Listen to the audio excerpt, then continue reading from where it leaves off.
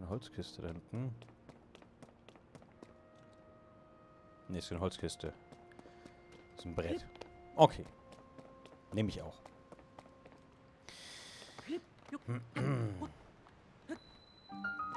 Uko Uhu-Schrein. Ne, Uho-Schrein. Aha. Aha, also die Schreine sind jetzt hier einfach nur Steine mit Licht. Okay. Keine Schika-Schreine mehr, das sind jetzt alles dann äh, Sonau-Schreine. Aha. Teleportziel. Ah. Okay. Dann öffnen die sich. Verstehe. Okay. Ähm. An dieser Stelle werden Hinweise angemeldet, die wir dir auf deinen Weg nutzen können. Okay. Verstehe.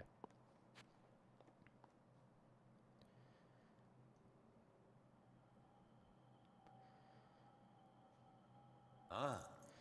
Da bist du also. Dies ist ein Bannschrein. Hier versiegelte ich für Urzeit mit Hilfe meiner Lichtkraft das Böse. Wenn du deinen Arm in diesem Lichte badest, kannst du deine verlorenen Kräfte wiedererwecken. Wohlan, strecke deinen rechten Arm aus.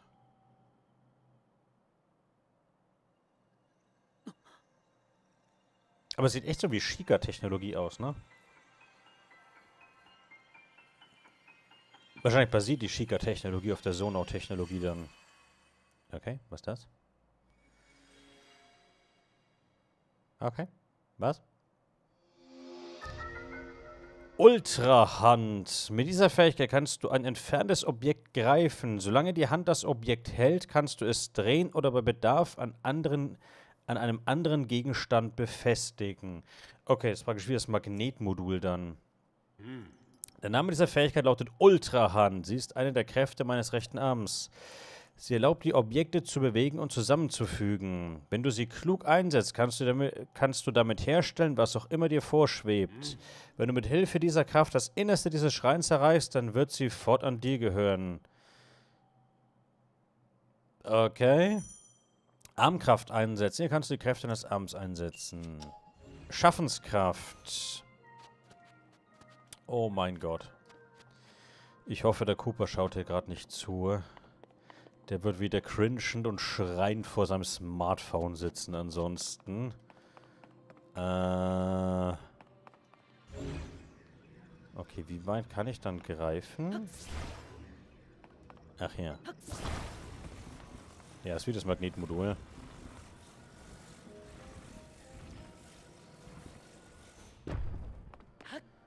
Hm. Okay, warte. Das reicht nicht, ne? Warte mal. Drehen. Wie drehe ich das denn? Ah, okay. So, reicht das von der Entfernung hin?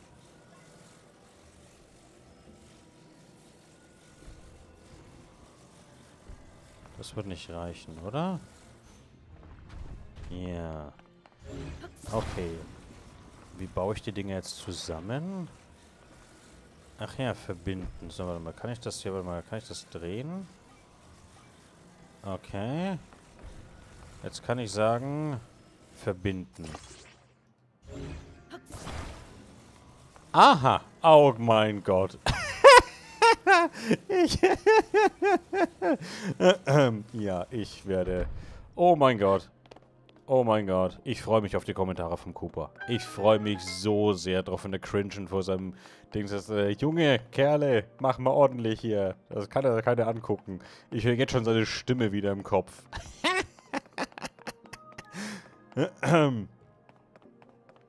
das wird ein Spaß. Ähm. Okay. Aha. Aha.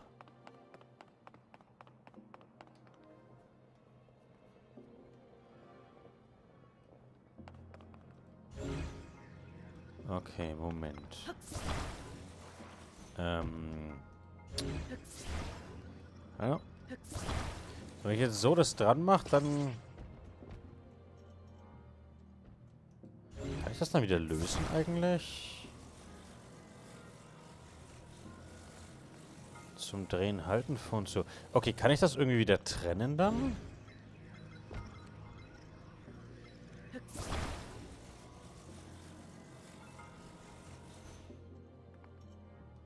Okay, scheinbar wenn es einmal verklebt ist, kriege ich es nicht mehr auseinander. Kann das sein? Drehen, halten. Ah, doch. Okay, du musst hier unten einfach Dingens, dann das meinen die mit lösen. Okay. Verstehe. Oh mein Gott. Ähm. Okay.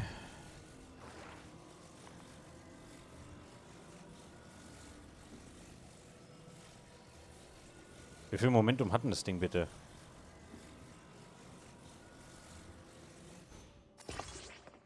Okay, mal so. Okay. So, und jetzt kann ich das hier oben...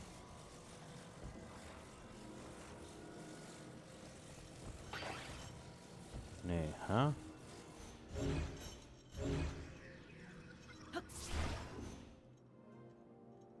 Ach so, nee, ich bin Trottel. Warte mal. Warte mal, so. Okay. Ähm... Ich wollte gerade das Ding jetzt mal, ich wollte es gerade von, ich dachte, ich brauche die Kugeln, aber ich brauche die Kugeln ja gar nicht. So, Moment. Äh, halt. So, dann jetzt hier. Ähm. Okay, jetzt muss ich noch ein bisschen üben.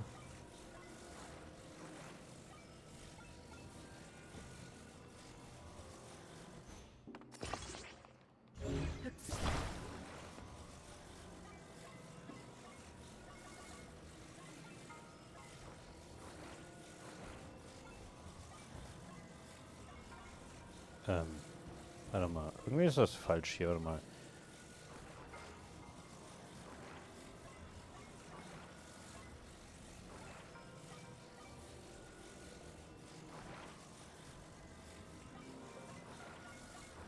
Irgendwie dreht sie... Ah, jetzt jetzt. Okay.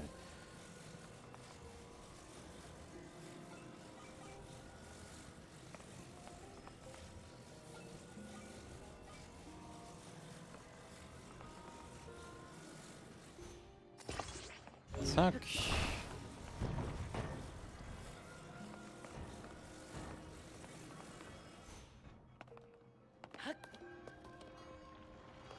Okay. Oh mein Gott, das wird ein Riesenspaß werden. Also die Mechanik ist mega, mega, mega cool. Aber ich weiß jetzt schon, dass ich hoffnungslos versagen werde. Untersuchen. Aber es ist echt eine mega coole Mechanik tatsächlich. Okay. Sei gelobt dafür, es bis hierher geschafft zu haben. Okay, das ist dann praktisch die aus der äh, Erzählung. Nun soll das reinige Licht dich erfüllen, welches in diesem Orte ruht. Das ist praktisch die Prinzessin von Hyrule und Irgendjemand von Sona. Sonau. Sonau. Nicht Sona. Sonau. Mhm.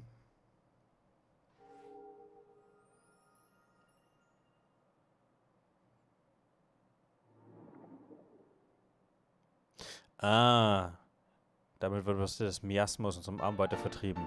Segenslicht, ein Kristall des äh, Herrenlichts, welches das uralte Böse versiegelte und reinigte, strahlt ein angenehm natürliches Licht aus. Okay. Möge der Segen dich dir Kraft schenken. Und mit vier Stück wahrscheinlich kannst du wieder Herzen oder Ausdauer dazu gewinnen. Nice. Sehr schön.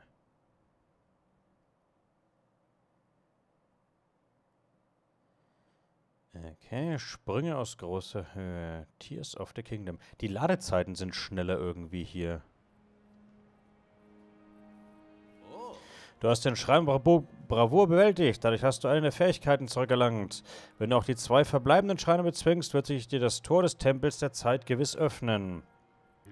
Sieh dich um und markiere dir die Schreine, die du entdeckst. So wirst du sie sicher ohne Mühe erreichen. Verwende also das Fernglas des Purapets. Ach ja, stimmt, das gibt es hier auch noch. Achso, da oben ist der andere. Äh, drücken, markieren. Ja.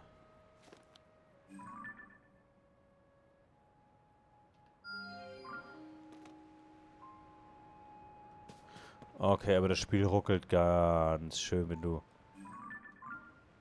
Also wenn du in dieses Ding switcht, dann äh, ruckelt das Spiel ganz schön.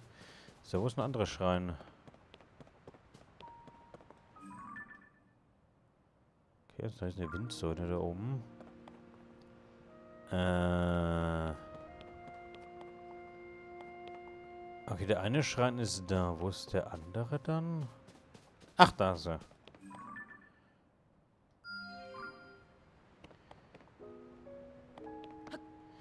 Ein Königreich für ein Parasegel. äh, okay, wie komme ich jetzt am dümmsten rüber? Okay, warte mal, wir können hier auf jeden Fall was bauen. Okay, da unten sind noch die Dinge, da können wir was bauen, dann können wir da äh, rüber.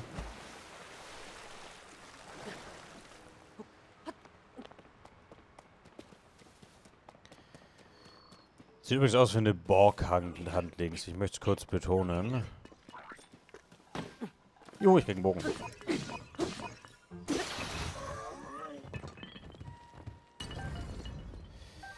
Alter Holzbogen. Ein hölzerner Bogen aus alter Zeit. Er ist nicht sehr stark, da er vor allem für die Jagd ausgelegt ist. Bogenangriff. Ja, das passt.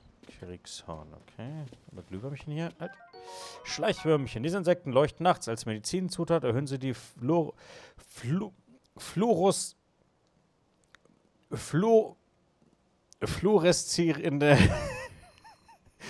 fluoreszierenden Komponenten ihrer äh, Körper die Konzentration ermöglichen eine leisere Fortbewegung. Okay. Äh, Holzpfeile nehme ich mit. Sehr schön. Da ist ein Haufen Pfeile hier. Sehr cool. So, dann rüsten wir den noch gleich. Ach, haben wir schon ausgerüstet. Zack. Oh mein Gott. Also ja, die Switch ist echt dafür nicht ausgelegt. Es ruckelt schon manchmal extrem, wenn man so diese Szenenwechsel vor allem hat. Aber gut. Ähm. Ach so, da geht's zur Zitadelle der Zeit. Tempel der Zeit. Mann!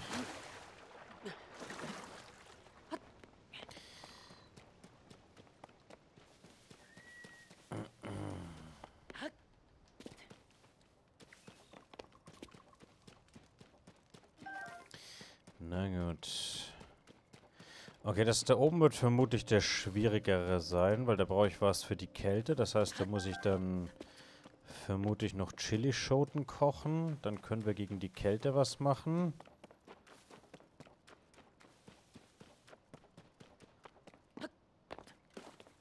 Ich vermute, dass das Prinzip, weil ich will mir auch wieder nämlich das gleiche Menü unten sieht man nämlich. Wir haben nämlich links wieder Hitze und Kälte. Das heißt, wir werden das alles... Äh, dann brauchen so die Frage, wie komme ich denn darüber eigentlich? Ah, ich muss darüber, das heißt, ich muss da lang.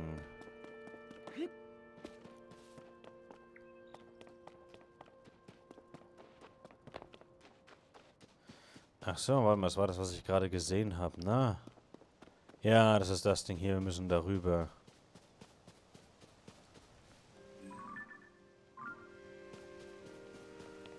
Okay. Na gut. Das ein Krocksamen hier? Nein. Schade. Das sah verdächtig aus. Ähm, aber ja, ich musste mit dieser Reling runterfahren.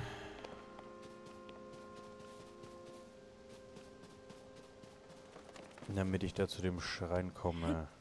Ich frage mich übrigens, wie die Krog hier hochkommen. Also ich weiß nicht mehr, wie ich hochgekommen bin. Aber dass hier einfach die Krog auftauchen... Naja, vielleicht können die fliegen. Äh...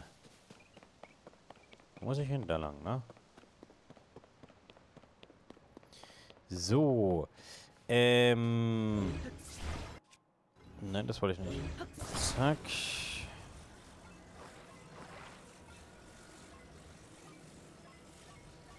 Ah, okay, jetzt habe ich okay, jetzt habe ich das gecheckt mit dem mit dem Drehen tatsächlich. Okay.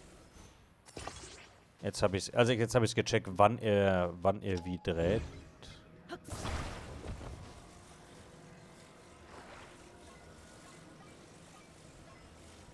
Okay. Jetzt habe ich es gerallt.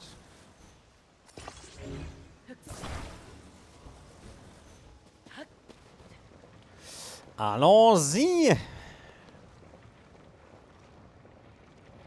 Das ist echt eine mega coole Mechanik, dass du einfach Sachen zusammenkleben kannst.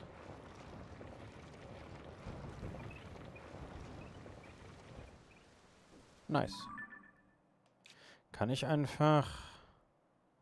Ja, wir können uns vermutlich einfach wieder hin teleportieren dann, ne? Das wird so wie im ersten Teil sein, dass es einfach dann Teleportationsziele sind.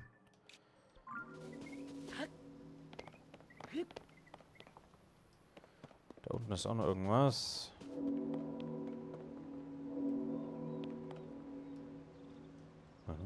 Was ist das?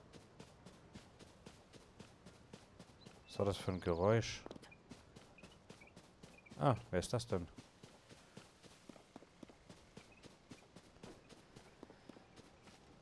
Ach so. Noch immer arbeiten sie unermüdlich, ganz wie sie es immer taten. Ursprünglich hatten wir sie zu unserer Unterstützung erschaffen, doch schon bald empfanden wir sie als unsere Nachbarn und Freunde. Niemals hätte ich gedacht, dass sie auch jetzt noch ihren Aufgaben nachgehen, so ganz ohne Sinn. Ich muss sagen, dieser Anblick erfüllt mich mit Melanchole. Ach ja, die Dinger hier, oder was?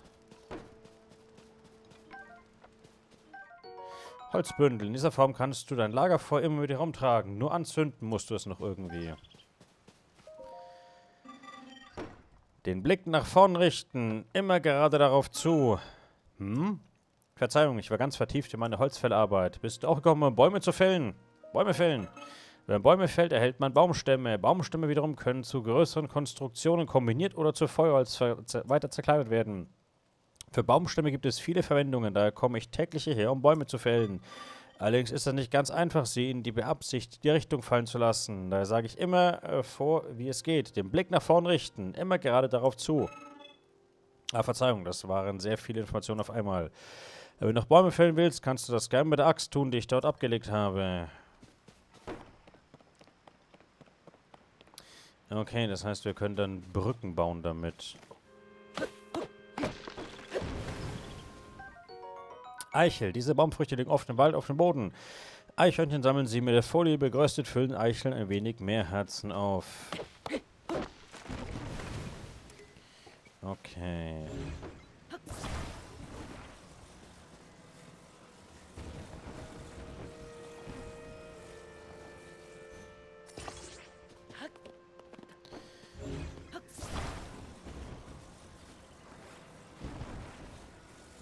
Oh mein Gott, ruckelt das. oh mein Gott. Alter Schwede. Ähm.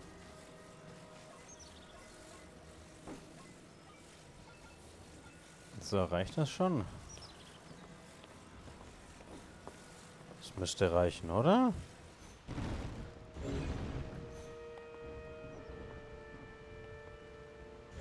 Na gut, vielleicht auch nicht.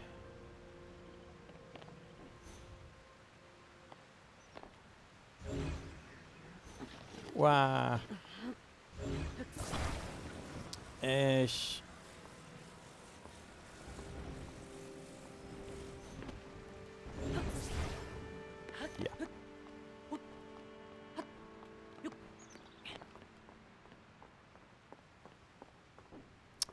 Na gut. Ein Satz mit X, das war wohl nix.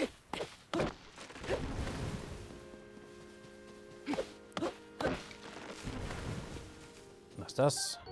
Krockwedel. Seltsames Blatt, das aussieht, als versteckte sich immer dahinter. Es besitzt medizinische Eigenschaften und dient an einem Stock oder ähnlichem Befestigen der Winderzeugung. Ja.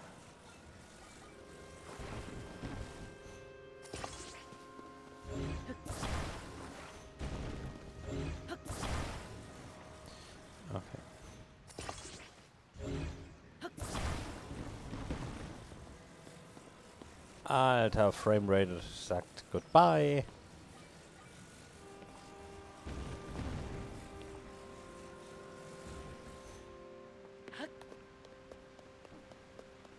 Drum wollte ich eigentlich zwei äh, zusammen machen, aber so geht's auch. So, was ist das hier?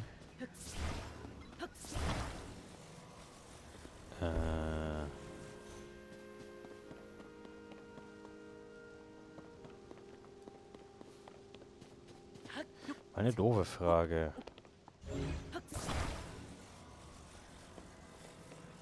Okay. Wenn ich draufstehe, kann ich nichts damit machen.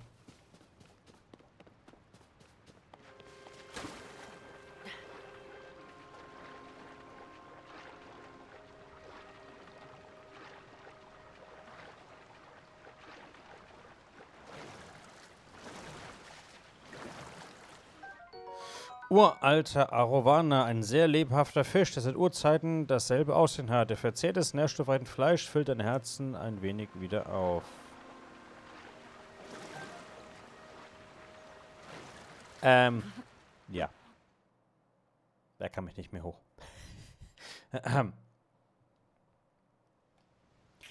ich wollte eigentlich hoch. Dann habe ich die Strömung erwischt. Äh... Ja.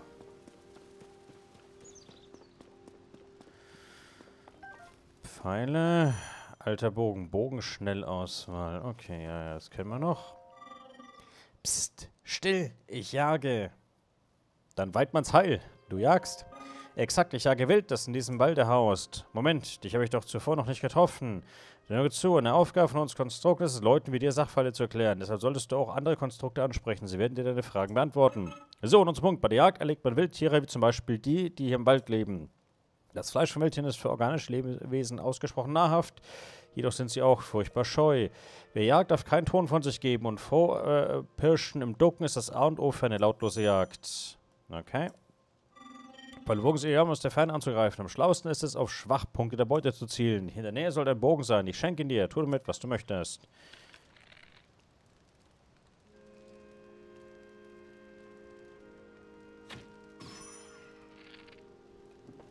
Trifft am Fall den Kopf eines Gegners, fügt er ihm doppelten Schaden zu. Ja, sehr gut. Sehr schön, haben wir das. Okay, es ist wirklich gleich geblieben wie in Breath of the Wild. So, kann ich hier hochklettern? Das geht. So, wo war jetzt der andere Schrein?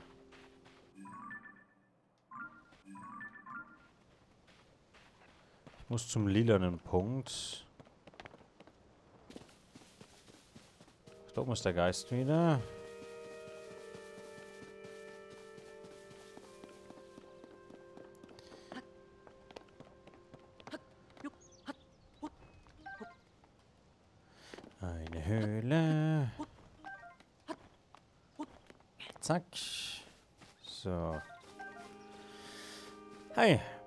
Ich liebe es, den Tempel der Zeit von mir zu betrachten. Ich habe oft hier Rast gemacht, um mich an ihm zu erfreuen. Der Garten der Zeit liegt so friedlich da. Einzig die Zeitglocke durchbricht gelegentlich die Stille, um den Morgen oder den Abend einzuläuten. Mit dem Klang der Glocke wandelt sich das Antlitz dieser Insel. Wie schön ist nachts das Spiel der Glühwürmchen.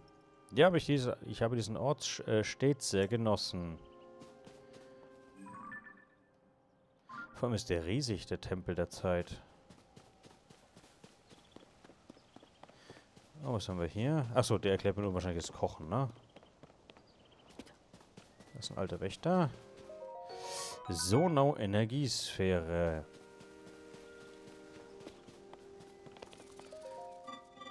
Das wird schmecken, da bin ich sicher. Bitte verzeih mir Unaufmerksamkeit, ich war hier ganz ins Kochen vertieft. Oh, dich habe ich doch so gar nicht getroffen. Dann lass mich eine Sache erläutern. Ihr Konstrukte erfüllen diverse Funktionen. Dazu gehört, Leuten wie dir alles Mögliche zu erklären. Wenn du Fragen hast, wende dich gerne an ein Konstrukt, werden dir stets beantworten. Also, möchtest du mir das Kochen erfahren? Na klar. Oh, wenn du so fragst, ist Kochen wohl absolutes Neuland für dich. Nee, eigentlich nicht. Nun denn, ich werde die Grundlagen des Kochens beibringen. Jo. Kochen. Schritt 1, Zutaten in die Hand nehmen. Schritt 2, alles in einen Topf über einem Feuer werfen. Guten Appetit. Aber die Welt des Kochens bietet noch viel mehr, man muss sich nur ein bisschen einarbeiten. Die Kombination der Zutaten ist der Schlüssel zu vielen verschiedenen Speisen, die ebenso viele Effekte haben. Manche Speisen halten warm, manche gewähren neue Ausdauer. Insekten, andere kleines Getier ergeben zusammen mit Monsterteilen Medizin. Diese ungewöhnlichen Zutaten solltest du aber nie mit gewöhnlichem Essen in den Topf werfen. Dies alles weiß ich freilich nur dank meiner Erschaffer, denn selbst habe ich kein Bedürfnis für Nahrung. Suche mich gerne wieder auf, wenn du Fragen zum Kochen hast. Ich werde meinen Posten nicht verlassen. Jo. Ich finde, was das Spiel hier deutlich besser macht als der erste Teil. Er erklärt mehr. Ausdauerschrecke. Diese Heuschrecke kann den ganzen Tag herumspringen, ohne müde zu werden. Mit Monsterzutaten gehocht ergibt sich eine Medizin, die die Ausdauer regeneriert.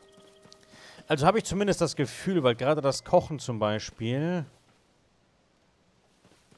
Das ist nicht schwer, wenn man es mal weiß, aber hier ist es deutlich... Ich, also ich bin mir sicher, dass es hier besser erklärt ist als im ersten Teil.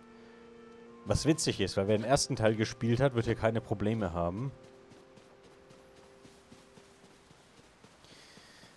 So, okay, da haben wir wieder eine Rutsche. Ausdauerling, ein nahrhafter Pilz mit großen Nährstoffreserven. Wenn du ihn kochst und verzehrst, gewinnst du Ausdauer zurück. Juhu.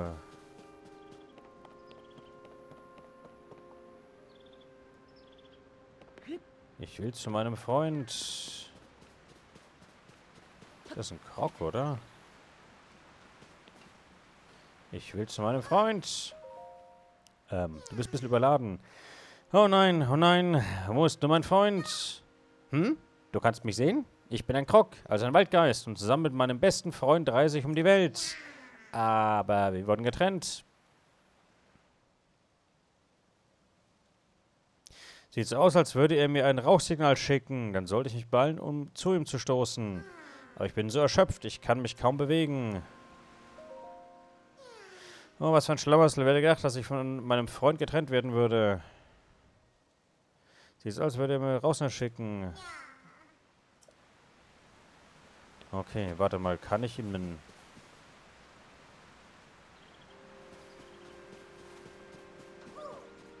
Ich würde ihm ein... Hm, warte mal, kann ich... Warte mal. Wenn ich das jetzt hier nehme, ne? Ähm... Dann kleben wir das zusammen. Ähm... Hallo? Dann machen wir das so.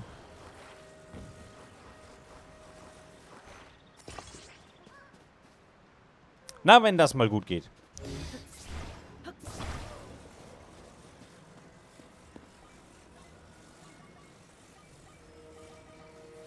Die Haken sehen aus wie Fragezeichen.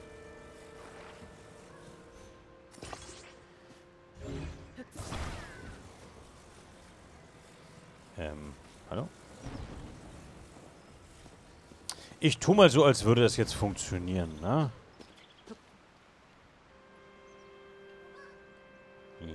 Ja. Äh.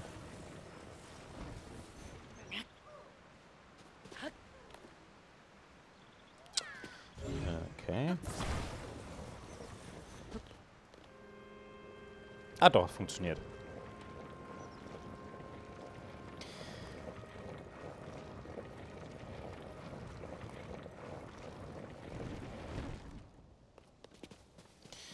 So, was macht der hier Schönes? Sprechen. Ich warte auf, auf meinen besten Freund. Er musste irgendwo sein, aber bisher ist er noch nicht hier angekommen. Was ist nur los mit ihm? So. Er muss irgendwann. Was ist nur los mit ihm? Ja, äh, äh. Ja, okay. Hä?